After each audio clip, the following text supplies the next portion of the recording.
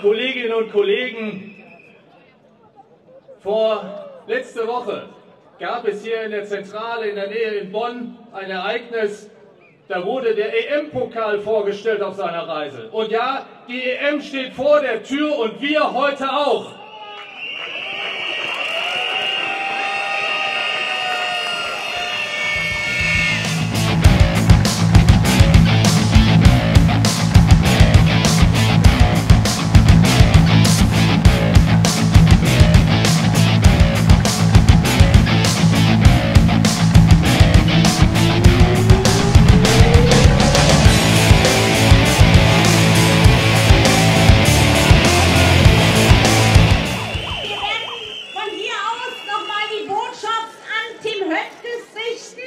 Der